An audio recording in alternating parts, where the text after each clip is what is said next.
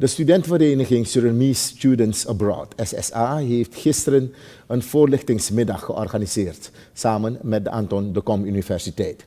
Het doel van deze middag is om de verschillende mogelijkheden na een bachelorstudie op de universiteit te bespreken met de studenten.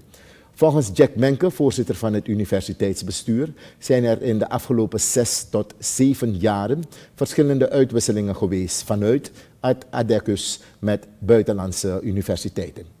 En je ziet Bursale ADECUS buitenland, Nederland, dus gefinancierd doorgaans vanuit de eigen krappe financiën.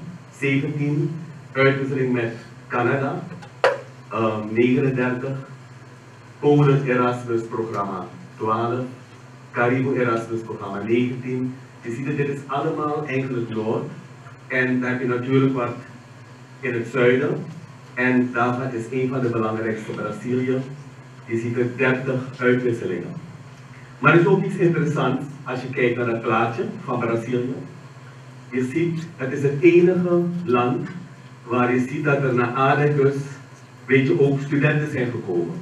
Dus dat betekent er zijn programma's gemaakt waar er een beetje tweerichtingsverkeer is. De meeste van die programma's van Brazilië zijn betaald vanuit Brazilië, CAPS of CNPq. Maar ik moet zeggen, ik kom straks op een plaatje waar Suriname een klein stukje heeft toegevoegd aan eigenlijk dat tweerichtingsverkeer. De omschakeling van studeren in Suriname naar het studeren in Nederland is nader besproken door Ferayet Hok, voorzitter van de Surinamese Students Abroad. Volgens hem is de SSA de grootste Surinaamse studentenvereniging in Nederland. Hok gaf een uiteenzetting over wat de vereniging allemaal doet voor studenten die in Nederland gaan studeren.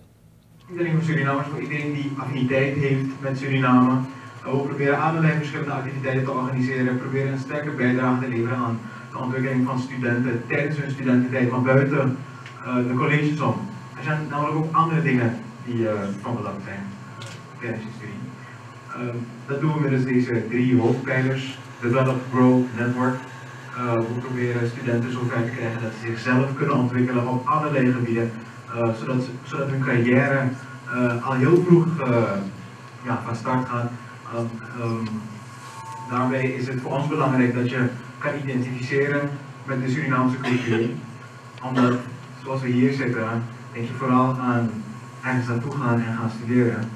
wanneer je daar eenmaal bent, dan besef je hoe belangrijk het is om even, even terug te gaan naar Suriname. Om even die, dat, dat gevoel te creëren waar je op een borrel bent en met elkaar te praten over wat er gebeurt in Suriname. Of toen je laatst op vakantie was, of noem maar op. Um, en daarnaast proberen we um, een netwerk te creëren voor alle studenten. Um, de, de gap tussen het bedrijfsleven en de studenten te verkleinen, zodat ze ook een stuk makkelijker uiteindelijk aan de bak komen. Aldus Ferayet Hok, voorzitter van de studentenvereniging Surinamese Students Abroad. Hij sprak gisteren tijdens de voorlichtingsmiddag die door de studentenvereniging is georganiseerd. Het doel van de middag was om de verschillende mogelijkheden na een bachelorstudie op de ADECUS te bespreken met de studenten. De voorlichtingsmiddag is gehouden in de University Guesthouse aan de Leesweg.